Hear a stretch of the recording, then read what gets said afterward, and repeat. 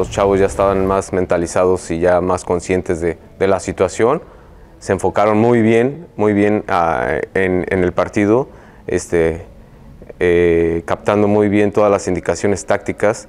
Eh, se analizó muy bien al rival y, salió al pie de la letra, ¿no? aunque igual, de igual manera eh, los primeros minutos por, por errores propios eh, Nueva Zelanda tuvo ahí un par de, acciones muy peligrosas, pero al final son, se resolvieron muy bien y son parte del fútbol. Yo creo que entramos con un poco más de, confianza al partido, que, venimos, este, pues sí, con esa hambre, con esa hambre de, seguir ganando, que ya vimos lo que, es ganar, pues, y pues queremos esa sensación de nuevo.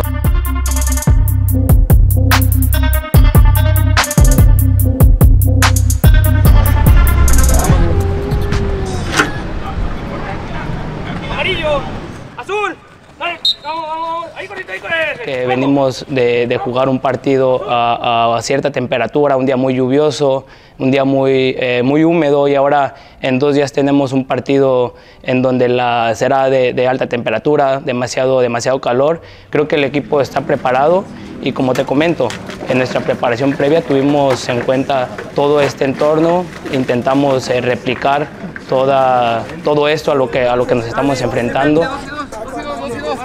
de regreso, dos y dos hacia atrás, dos y dos hacia atrás, cortito, cortito, cortito, cortito, cortito, cortito. Eso es, eso es, eso es, eso es. Tres, cuatro pasos, aquí. Hágame esto, vaya al frente, vaya al frente, explosivito, cortito. ¿Listo? Va. Azul, azul, amarillo, rojo, verde. ¡Más rápido! ¡Amarillo! Tuvieron tres partidos y un viaje también a, a otra ciudad. Este, pues no, es todo pues también mentalidad y pues también físicamente tenemos que estar bien estos dos días preparar bien para el partido, para todos, todos estar al 100. Creo que la parte física ahora cobra muchísimo más relevancia en el, en el fútbol porque nos damos cuenta que, que sí es este, eh, una, un, un, parámetro, un aspecto muy importante para poder conseguir estos objetivos de los que tanto, de los que tanto platicamos.